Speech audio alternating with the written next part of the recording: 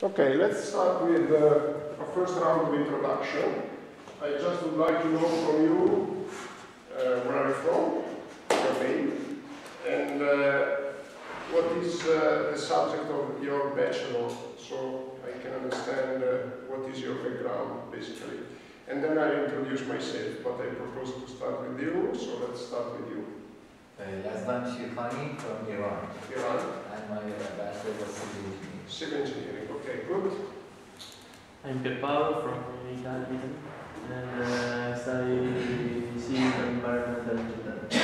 Bologna, or No, in Ancona. in Ancona, okay. My name is Hussein Mazran. I study bachelor's in civil engineering in Genoa, In Genova, okay. And you are from? Lebanon. Lebanon, okay, I know. I'm Francesco Lavicchia. I studied uh, engineering civile in Bari. In Bari, okay, good. Uh, I am Ahsan Khan. Uh, I'm from Pakistan and uh, my bachelor was in uh, civil engineering. Civil engineering, okay. I'm Alessio Caiappa, I'm studying, uh, I'm studied uh, civil engineering in Milan. In Milan, okay, okay. I'm Andrea Piglioni, I studied uh, civil environmental engineering in Politecnico di Bari. Bari, okay, good. And uh, you mentioned that probably three more people will attend, okay? And uh, so you attended, uh, probably not all of you, can you please confirm me if you attended ocean engineering, sorry, ocean engineering with Professor Archetti? Everybody? No? Me, I, I did. You didn't? Yeah. Okay, perfect. And, uh, but now we are attending coastal engineering with Professor Archetti. Yeah, she's teaching now, correct, on Tuesday? Yeah, but she's teaching for only 16 hours, correct? Okay, that's perfect. Okay, so now it's time to introduce myself. As you know, my name is uh, Alberto, Alberto Montanari, and my uh, background is uh, actually civil engineering with, uh, um, let's say, I focused on hydraulic engineering. It was basically fluid mechanics uh, and hydraulic works at that time. I graduated in Parma. I am from Reggio Emilia. Reggio Emilia is a city in the same region as Ravenna. It's located between Bologna and Milan, more or less. I travel every day. I'm still a commuter. And my, my study, when, when I took my degree, it was a five-year cycle. So it was not three plus two, because in Italy we changed around 2002-3, and I graduated in 1992. So basically it was a five-year cycle in, in Parma. And then uh, in Parma I had the opportunity to work on a master degree thesis. We didn't call it master degree, but anyway it was equivalent, on uh, river water quality with some professors from the Polytechnic of Milan. And then uh, my advisor, thesis advisor, asked me whether I wanted to take a PhD, which was really uncommon at that time because uh, at that time, it was like 25 years ago, uh, it was uh, the degree in engineering in Italy uh, offered a lot of job opportunities, well paid also. And uh, the PhD conversely was something that was not clear, the meaning uh, and uh, was not really clear because you have to think that in Italy the PhD programs started in 1988. So after four years I was asked to take a PhD, it was not clear to us what a PhD was. And uh, it was not clear what kind of job opportunities besides those offered by a degree in engineering the PhD could offer. But, uh, you know, for some reason I decided to, to let it go. And the main reason was that uh, when I took my degree, mm, I was still, still fascinated by studying. So I said, why not? And I, I enjoyed it, and let's continue. And, but it was not my intention to take a career in the academia, because uh, I thought that I was not prepared enough. Because, you know, and I, I took a degree with Laude, but still, uh, the study was not my first priority at that time. So I also had to try to earn some money because my family was not really a rich family, let's say. So it was not my first priority, in the academia, but I decided to let it go. And uh, also, I was very motivated to work in the, in the region where I was born and I grew up, which is this region. And now it's a different story, but uh, at that time I had this feeling. So I went anyway in Milan, and then uh, after uh, ending my PhD, I was offered a scholarship at the University of Bologna. And uh, so I thought that it was very good because Bologna was in the same region where I wanted to live. And I realized that I could commute easily. So I took the scholarship, it was a postdoc for two years. And then just by chance, uh, um, a position for assistant professor was, uh, was um, how to say, uh, was um, posted by the University of Bologna. And uh, I said, okay, why not? I, I'm feeling really well in Bologna, and let's try. And then I started my academic career. And at that time, because uh, the assistant professor position in Italy at that time was a permanent position. And the permanent means that you are not fired, whatever you do. And now it's, it's not the same thing because the assistant professors are temporary position. But professorships are still permanent, whatever we do. So we may decide, okay, we are forced to teach and to make exams, but uh, we may decide to do nothing more and we are not fired. And uh, this is a bit different with respect to other countries. And it has advantages and disadvantages, also in terms of efficiency of the education process. But anyway, this is the situation. And uh, when I started, it was quite common in engineering that university professors also did professional activity. Because, uh, you know, it was also thought like a plus uh, in the education process. If professors had practical experience, uh, it was, uh, people were convinced that they could teach better and uh, in a more useful way.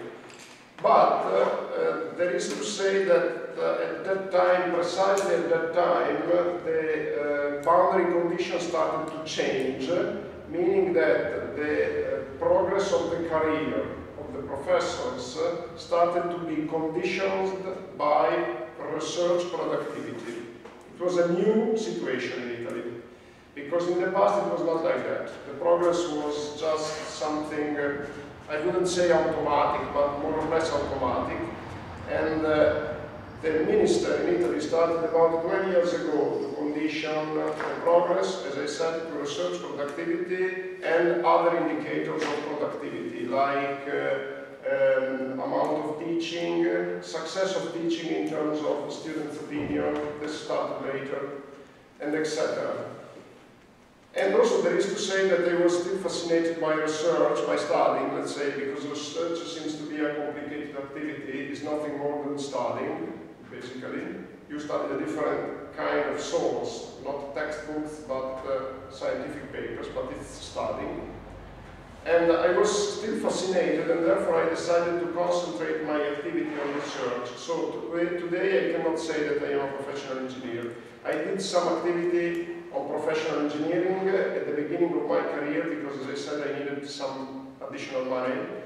And, uh, but it was very limited. And uh, limited and, uh, mm, let's say, when I say limited, I mean limited in time and limited in terms of size uh, of the structure and infrastructures I cooperated to design. And then I stopped. I kept consultancy activity, which means uh, it, it's, it's carried out through the university. Often happens in engineering that public administration, individuals, or engineering society ask for consultancy, ask the university for consultancy. And this is a kind of activity that I'm still keeping. I like it a lot because it's a way to, to remain practical. And, and uh, you know, because otherwise research, uh, there is the risk in research that is uh, something not really applied and not really useful in practice. Instead, I believe that if a researcher keeps an eye on uh, the, you know, the needs of society, and you will see that I will keep continuously an eye on these needs of society when teaching, I think it is useful because it allows you to better understand what's the meaning of what you are studying, what you are researching. But uh, basically, I think it's important that you know that I cannot tell you how to manage construction works, uh, how to practically manage uh, uh any kind of practical work. I can tell you how to design from a theoretical point of view, I can tell you I am informed about the recent progresses on research, and this is what I can offer the best of my knowledge. On the other hand, as I said, practical works. Uh, I'm still I'm even no more entitled to put my signature on design projects uh, because in order to do that I should have attended uh, some you know, additional courses uh, on safety in construction places, etc., which I didn't take. And uh, the last thing that I think it's useful that you know, I'm doing research in hydrology and water resources management. Now, in Italy, hydrology, water resources management are located in the same educational field as uh, ocean and coastal engineering. And uh, we call them settore scientifico disciplinare in Italy, which means, uh, which means educational and scientific field. The ministry adopts these fields to classify educational and research activities. And as I said, hydrology, water resources management, coastal and ocean engineering are located in the same field, but main, my main expertise in terms of research is hydrology, water resources management, and flood analysis, surface water, rivers, etc. I started teaching coastal engineering because I am very fascinated by coastal engineering. I'm not really, I, I am not a researcher in coastal engineering, and for this reason I try to limit my thesis on this field. Uh, but uh, I am very interested in coastal engineering, I am fascinated, as I said, and therefore I decided to also start teaching in coastal engineering, and this is the third year. So it's, it's uh, I think it is useful that you know that I started teaching, I have a 20 year experience in teaching, but my experience in coastal engineering is just three years. And I decided to start with a different, uh, you know, with uh, a kind of a vision that I think it's, it's just a personal vision, and I tell you what it is. Okay, so uh, that being said, let me now start giving details uh, on this course. And first, let me start from the practical details. We have 32 hours of teaching. I will teach for 20, 28 hours personally, and one day I will call another person, and probably you already met her, her name is Gabriela Gaeta, and to do an exercise, because as a part of teaching, I also carry out with you some exercises, about six, eight hours. Oh, first of all, everything what I'm saying, everything is explained here. Just let me get back to the PC. I show you my website. One second.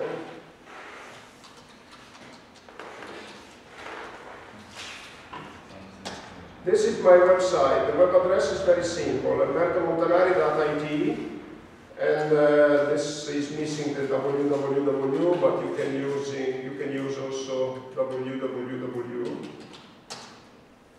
Okay, and uh, you can also reach my website from uh, the University of Bologna website.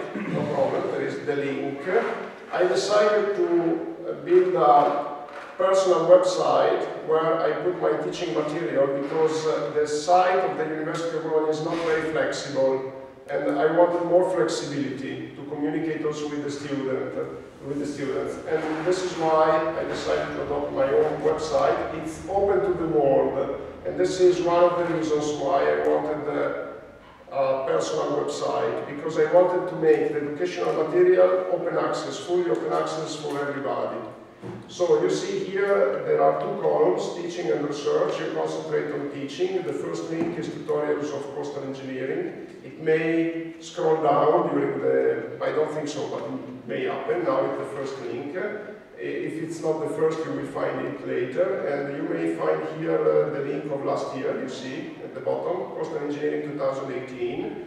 And this may be useful for you because it's an anticipation, even if it's not a copy, of what I do in the future. But let's now concentrate on this link. You click here, and here there is uh, an introduction where uh, there are all the details that I'm providing to you. So in principle, you don't need to take notes now. And uh, here there are also the lectures The, these are the tutorial web pages. So let me give you an example. This is uh, an example of tutorial they are given in the form of web pages. Uh, So no PDF, no, uh, no printouts, uh, and uh, why web pages? Because, first of all, as I said, I want it to be open to everybody. If I give a PDF through the institutional repository, it's accessible only to students. And after you take your degree, it's not accessible to you anymore. So my aim is uh, to give you an information that is always accessible for you, even in 10 years from now, unless something very bad happens to me, because you know personal websites uh, may disappear. But uh, uh, given that I am just 53, I am optimist, uh, so this will remain available for you forever and evolving, uh, because every year I am integrating, adding something, etc. Another advantage of web pages is that I can use links. And uh, like, uh, for instance, here there is a link to wind waves, uh, and if you click there, there is a, a link to Wikipedia explaining what is a wind wave. I like Wikipedia a lot, so uh, 80% of my links are referred to Wikipedia in English. So using links, I think is extremely powerful, and this is why I decided to use tutorials in the form of web page. Okay, let me go back a little bit to our calendar. So this is uh, the proposed calendar, or let me let me explode it a little bit. It's too small. Okay, now I think should be visible. Yeah, it's visible. And if you can see it, please let me know. And can you read on the screen or is it? Okay, you can read. You can read. Okay, perfect. So this is the calendar, but uh, you know, I see that here there is a bit of a problem because I had uh, I scheduled uh, a lecture on March 13 because I thought that it was possible here. It's degree day. And in Bologna it's not possible to teach. I'm not allowed to teach in Bologna, but here I thought it was possible. But now they told me that uh, they prefer they are closed. Uh, I'm not sure if it was a preference or they are. Anyway, let me let me check because there are two possibilities. Either we are allowed to make lectures or not. If we are allowed, I would ask you. So, like, uh, do you agree if we have lectures on March 13 or not? And if you agree, we may have it. And uh, otherwise, we have to cancel that one. And cancelling, I don't really like it because I would like to finish as soon as possible, just on your behalf, on your, for your benefit. So I think May 15 is fine, even May 22 would be fine. But uh, anyway, if we have an opportunity to finish earlier, as soon as I finish, uh, I'll uh, give you the opportunity to take the exam. I'll tell you in one minute.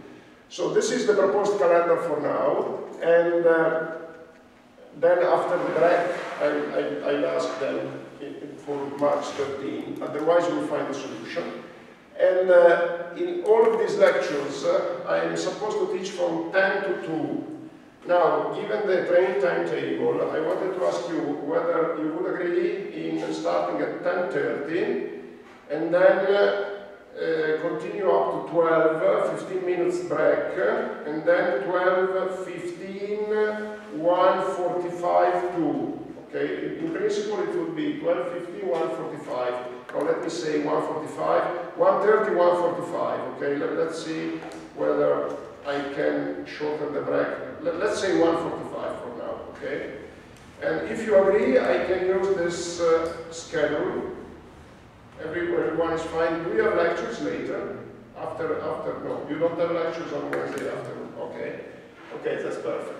Okay, so let's say that this is our timing. Usually I take only one break in four hours. Uh, if you want to take two breaks, uh, which means that uh, instead of one 15 minute break, we may take two, five, 10 minute breaks, uh, just let me know. I am completely flexible. We could even take a longer break and stop at two. Just let me know if you prefer, or two long breaks and stop at two. Let me know what you prefer, okay? Let, I assume that you agree with uh, 10.30, 12, 12.15, 1.45. If you don't agree, if you would like to make some changes, the only, the only condition is that you agree yourself, and I'm flexible to adapt, okay? Okay, very good. And uh, now, mm, let me see. because I don't want to forget anything. Okay. Now, um, as I said, I want to dedicate some time to exercises. So I would ask you, and I'll tell you one week earlier, to bring your PC with you, your laptop, and work on it. You could even work in two people on one laptop if you don't have uh, the opportunity to bring a laptop with you. On the other hand, if you would like to work on your own laptop, but you don't have one, let me know because I can lend you an old laptop. Uh, I could uh, lend it to you or I could bring it to me every time I need it. Just let me know if you don't have this opportunity and we will solve it. Uh, because, you know, I think in principle it would be better if you worked uh, on your own PC instead of working in two people, because otherwise the people, you know, there is one working, the other one looking at, and uh, unless you are very efficient in changing the roles, uh, it, it, it's not optimal. And uh, so if you agree with this, uh, this structure of um, practical work, I would ask you next week to bring your PC. We will start with two hours uh, working uh, on the PC. So next week I make uh, two hours lecturing and two hours uh, starting uh, our exercises. Exercises will focus uh, on problems related to coastal engineering. I think we will be able to develop a couple of them. But and more important, they will focus on programming because I am convinced that uh, even in a context that is uh, full of opportunities uh, in terms of commercial and public domain software, I think that you still benefit a lot uh, from being able to uh, write programs uh, like MATLAB or whatever, because it's an important skill. And uh, I, I know that it's also appreciated by, by employers, uh, by companies, uh, because, you know, one never knows. And once that you learn about the program, it's something that uh, you don't forget. It's like speaking a language, more or less. And uh, the program that I would like to use, uh, it's not MATLAB, because MATLAB has a disadvantage. It's not public domain, it's a commercial software. You can use it at the University of Bologna because we have a campus license. But still, if you go outside the university or you are no more a student, you can't use it. So uh, you can use it outside until you are a student, but when you are no more a student, you cannot use it. And it's not really cheap to buy MATLAB. It's not like uh, Word, Excel, that you buy them with 50 euros. MATLAB is, is expensive. So I prefer to give you an alternative. And uh, the alternative uh, is a software that is called R. You may already know it. Do you know R already? It's uh, very similar to MATLAB. And can I please ask you, raise your hand if you, if you used MATLAB before? Okay, so, okay, so all, all, let's say half of you. Okay, and uh, um, you are you have already a knowledge of Excel correct? Everybody? Everybody. Okay, perfect.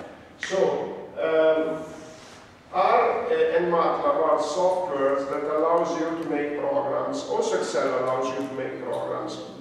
Basically nobody does that. But uh, the difference, uh, the main difference uh, between um, uh, electronic sheet like uh, Excel and uh, a program like MATLAB is that uh, in MATLAB you need to set up your own programs to run it. In Excel, uh, you have already a pre-prepared platform.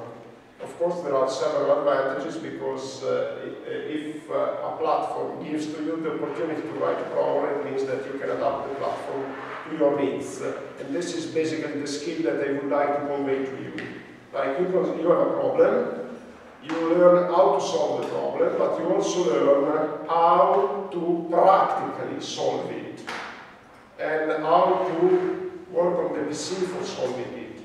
So this, I think, is an important additional skill. So, no more details now on R, but uh, please uh, next week come with R already installed on your PC. And therefore, uh, I'll tell you how to do that. First of all, first of all, you go to this uh, um, site, www, just one moment, I'm writing here. I'm writing capital letter, you know that with the web addresses uh, shouldn't make any difference, capital or, but in any case, I'm not really sure, so use lowercase. And uh, R, www, R project, con- with a Dash. not underscore, dash, dot, uh, I think it is org, but we will try just now. www, uh, project, dot org. Let's see, yeah, here we are. So let me, here we are. Now, you just have to go to download and uh, click on CRAN, which is a domain repository. Okay, you get here. Again, let me CRAN, but I go back. You just have to click here, CRAN, okay? From rproject.org, you click here.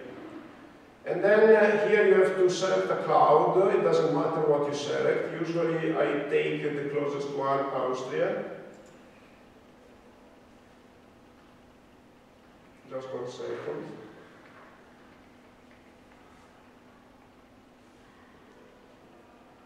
It's a bit slow, okay. And then you have download R for Linux, Mac, Windows. Okay, let, let's click on Windows. You have to download the base. And uh, also if you read the instructions, there is written, this is what you want to install R for the first time. So just base. If you click on base, uh, a download starts with a file here, download R for Windows, another click. So you get an exe, you save it, double click, and let it go. That's it. Okay? It's very simple.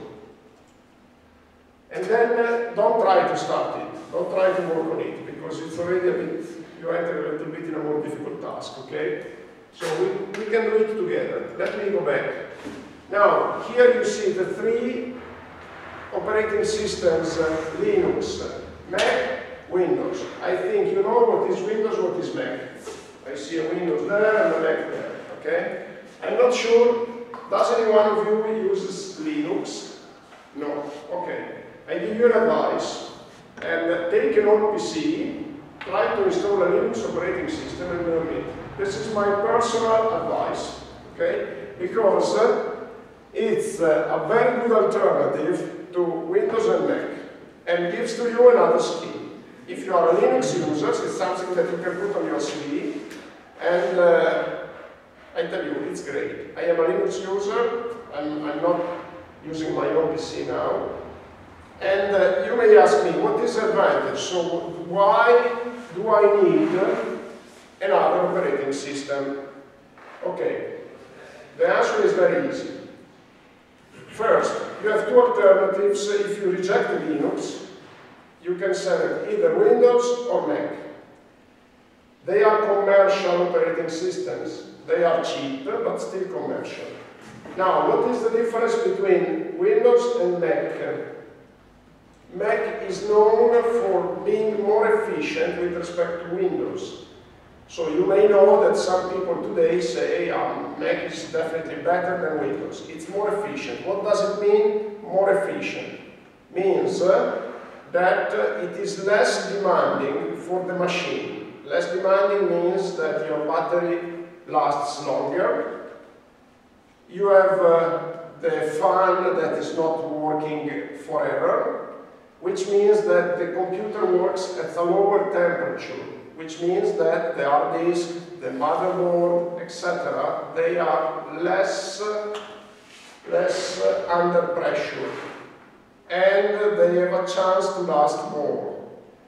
And uh, you know, there are statistics proving that hard disk, the hard disk for instance, with Mac is uh, less exposed to failures. But I tell you, in terms of uh, efficiency, duration of the battery, and time required for performing some tasks, definitely Mac is better. Also, there is an important difference between Mac and Windows. Windows is not designed to last longer. This is not the objective of the designer.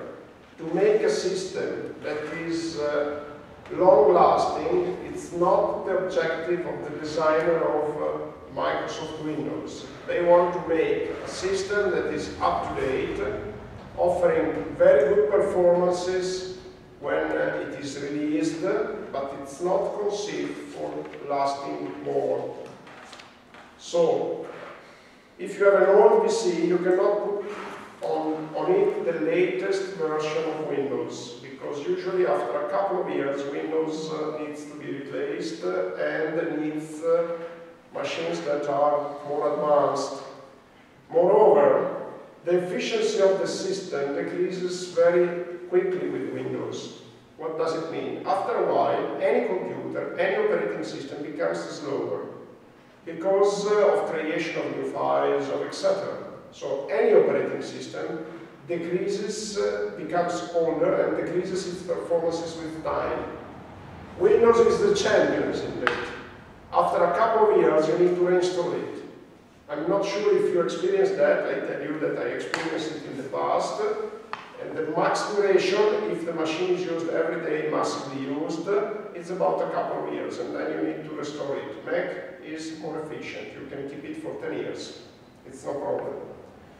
So, one final thing. In the past, I'm not sure how it is now, Mac was less exposed to viruses. And uh, it, it even didn't use any antivirus up to some years ago. And this is a big advantage because with Windows you are exposed unless you use a very powerful anti antivirus and uh, um, how to call it. Uh, there is another kind of I, I don't remember the name, and uh, I, I will I will uh, a program that uh, is against viruses. It, it's a controller, a controller of tasks. I don't remember the name. Anyway, you need these programs running in the background, and this is another reason for decreases the decreasing the performances. So I think I made it clear why Mac is better. Now Linux. Linux has the same advantages of Mac. In fact, Linux users don't feel the need for using a Mac, for taking a Mac. And uh, with the advantage that Linux is free. It's open source. You can download it, install it on an old PC. Why I say do I say an old PC? Because I just told you that it's a long-lasting operating system. So, moral of the story, I don't want to discuss and dedicate mm, much time on this because it's not strictly related to this subject, but I give you this advice. Try, get an old PC, put Linux on and use it. Because, uh, you know, it's perfect. I mean, for an engineer, it's perfect. I don't see any... The only problem is compatibility, but you can install compatibility with Word, Microsoft Word, or Excel, but you can install copies, and I don't go into the details. It's possible to get them running on Linux as do. That's it. Okay, so let's go back to our need for the next week. Please get it installed over the Mac, over Windows, or whatever. Okay, let's uh, come back to the calendar of the lectures. So, now let's talk about, uh, I think for the lectures I said everything. Let's talk about the exam. And uh, first, keep in mind that this is a course with six credits, four by me, two by Professor Archetti. Okay, now, uh, the exam is done in two separate dates uh, to give you the opportunity to prepare first my part and then uh, Professor Archetti's or uh, the other way around. It's not a problem. You decide. As for me, I give you the opportunity to take the exam as soon as the lectures are finished. And which means that, you know that in principle I'm not allowed allowed to register any exam before June 10, June 6, 7, I don't remember, the official closure date of the lectures. I cannot do any exam, exam before than that. So, in principle, I cannot register any exam, but if you agree, we can take an agreement that I allow you to take the exam, I call it a pre-exam, which means that I cannot register, but I write a paper, I take notes, and then I register later uh, at the first official exam date, okay? So, what you need is just to let me know, I'll tell you the dates of the pre-exam and the official exam dates, and I'll tell you when we get close, please do send me an email if you want to take the pre-exam. Pre-exam means that once that you took it, you are done, but it will be recorded later, okay? Keep in mind that this is a kind of flexibility that I give. I know that some of my colleagues don't do that, and don't complain if they don't do that, because uh, if I wanted to be very strict and formally correct, I shouldn't do that. I do that because I think it is useful for you. But of course, if you don't want to take the pre-exam, you're not forced. And then, after the pre-exam, I'll have an official exam, basically the first day when I am allowed to do that. And uh, it will be June 6, 7. And then I'll fix another exam end of June and another exam end of July. Okay? Here you see that there is written that we decide the dates in April. We may decide even before than that after I checked with them uh, about March 13, if uh, we can confirm this calendar, I can fix already now or next week the dates of the exams. Keep in mind that, I can tell you, if for some reason a lecture is postponed, we need to postpone also the exam. Okay? Your question. Yeah, uh, for what concerns the calendar, we have a problem uh, between the 27th and 29th of March.